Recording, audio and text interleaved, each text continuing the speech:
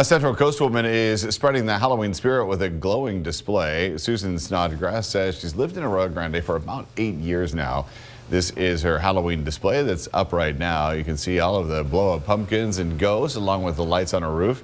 She says she tries to mix up the display every year so that it's something new for the community to see. Well, tonight KSBY was out there and we asked her why she takes the time to put up the decorations.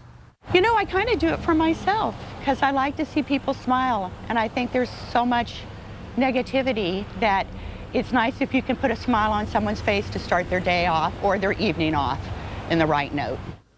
She says the day after Halloween, she will break down the display and put up a Thanksgiving one. After Thanksgiving, she will put up a Christmas display as well. She also told us that she has an entire shed dedicated just to her displays for the holidays.